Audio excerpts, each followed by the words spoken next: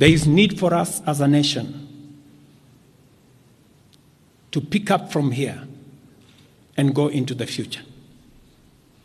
And I am therefore proposing that because we have gotten rid of the Finance Bill 2024, it is necessary for us to have a conversation as a nation going forward. How do we manage the affairs of the country together? How do we manage our debt situation together?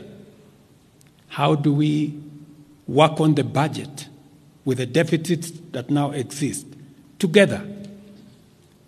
And as I committed last Sunday, I will be proposing an engagement with the young people of our nation.